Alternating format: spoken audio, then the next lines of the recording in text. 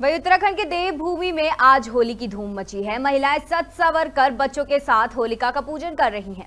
लडोरा में मेन बाज़ार के शिव मठ मंदिर में वर्षों से होली पूजन का विशेष प्रबंध होता है। यहाँ नगर के सभी लोग पूजन करके लिए आते हैं। क्षेत्र की महिलाएँ होली का पूजन का विश्व महत्व है। होलिका पूजन के अंतर्गत सामाजिक संगठन लकड़ी इकट्ठी करके मोहल्ले, गलियों व सार्वजनिक स्थानों पर लगाते हैं। यहाँ सभी महिलाएँ विधि विधान से होलिका की पूजा करती हैं। होली पूजन के बाद निर्धारित समय पर होलिका दहन किया जाता है।